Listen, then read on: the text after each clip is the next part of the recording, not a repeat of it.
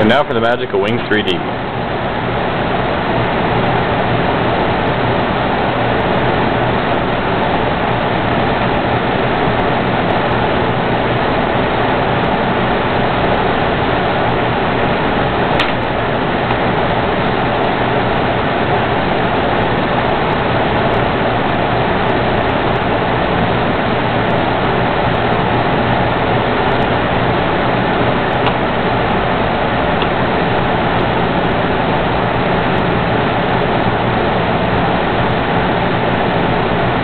Lag?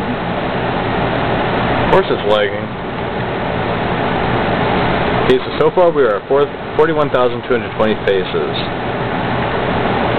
Nice. Just for the tires. Everything is at 41,451, so Yeah, my computer's lagging. we're going to smooth everything. Which goes rather fast for the rate.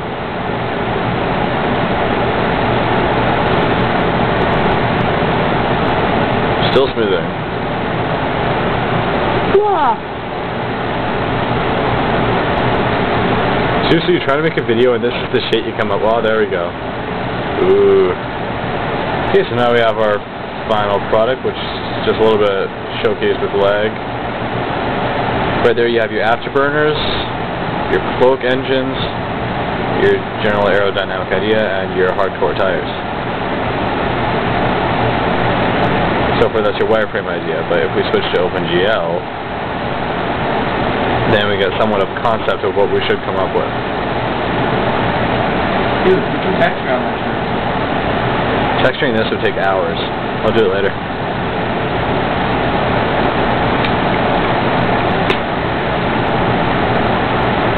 Are you gonna send me that shit, Brian? And now we have OpenGL. Yes, I will send it to you. I said message me.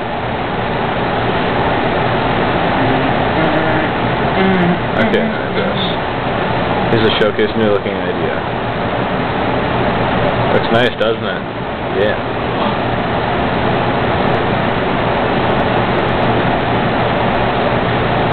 I still have to actually attach the drivetrain to the body though. And that is my new mech flyer.